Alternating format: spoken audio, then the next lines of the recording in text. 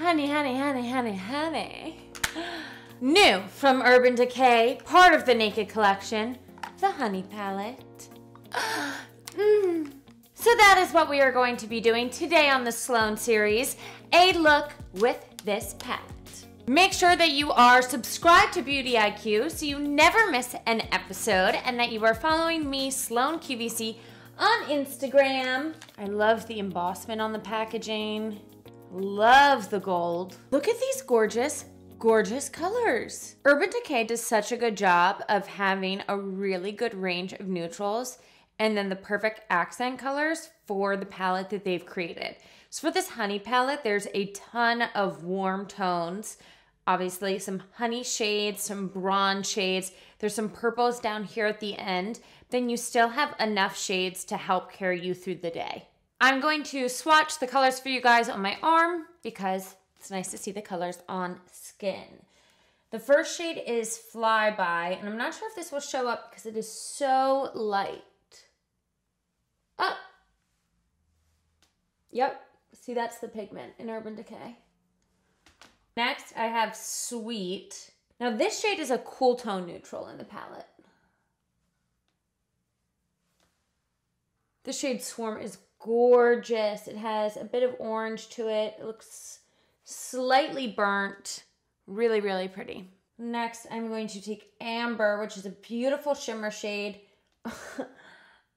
I can tell, yeah, lots of pigment to Amber. What I love about the Urban Decay shimmer shades is they aren't toppers. They are shimmer enough on their own. I'm running out of fingers. But next I'm going to take Keeper, which is similar to Swarm, but just a little bit darker. Next is golden. Wow. Yep, that's golden. Next we have honey. This is the shade I am the most excited about. Look at that on my pinky. yes. Next we have queen. This has some brown in it. It looks like it has a bit of green too. Yes. Ah! Love this. Love, love, love, love, love. After honey is a really nice brown called Hive. Can already tell I'm going to use that to help contour my eye. And then I have Drip, which is an even darker brown. See, these are the type of shades that are just good to own. HBIC. Ooh, this is almost like a rose gold. Beautiful shimmer. The shimmers are so smooth. I'm running out of arm space. And then next is Sting. And this has a, this looks like a deep purple brown.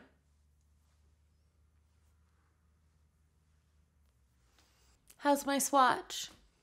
Can, can you see it okay? I like swatching because I can see the way that the colors look on skin, which actually changed what I was going to do with my eyes. I'm using the brush that comes with the palette I'm going to start by taking the shade Keeper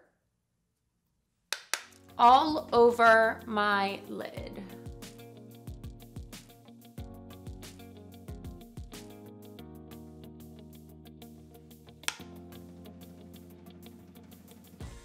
Really pretty shade.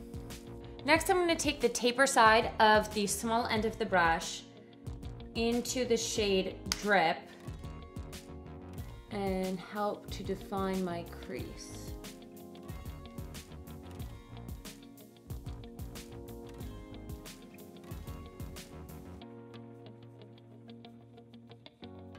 I know that I'm going to have to go back over my crease after I put on some shimmer. So it's okay if it's not too blended right now.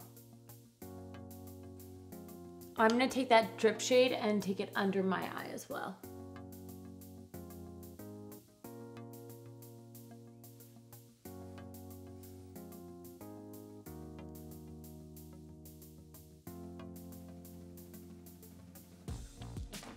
I just went a little bit under my eye to help map out where I'm gonna take the color and the eye shape that I'm creating. Next, I'm gonna take the shimmer shade Honey and put that in the inner corner of my eye.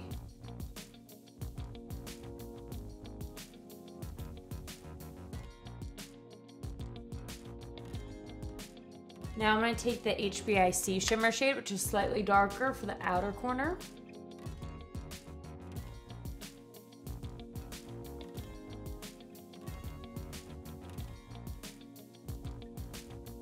No, I just want to take the shade Swarm and just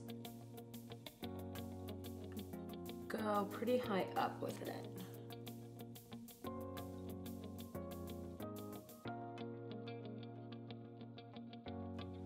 Now things are gonna get a little wild because I'm gonna take the honey shade, this gorgeous, gorgeous, gorgeous gold, and tap it to the center. So yes, I have three different shimmers on my eyes. Okay, this looks so fun.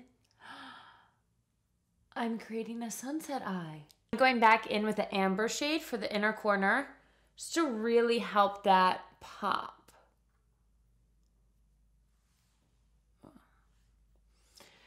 I've only lined with shadow the middle and outer ends of my lower lash line. Since I have so much shadow on top, I do need to balance it with some lower shadow, but I don't want to cover the entire thing. Only because these colors are still light that it doesn't look too heavy.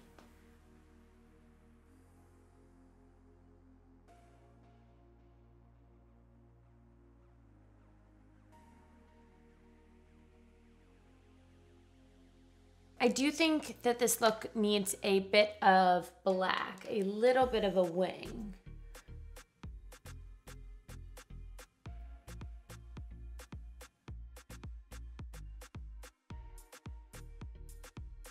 I also have a full winged eyeliner tutorial that I will link to.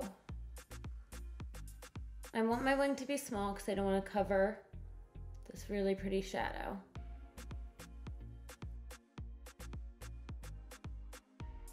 Hmm. Yeah, it needed that. I am just so happy with this look, with this shadow. Maybe I shouldn't scream like that. My audio just spiked. Okay, time for some mascara to just, ooh, make this really pop.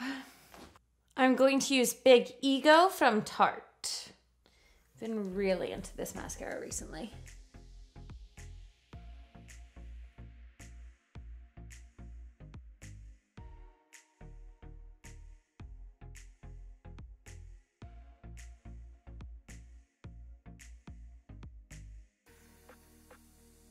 See, look at the difference.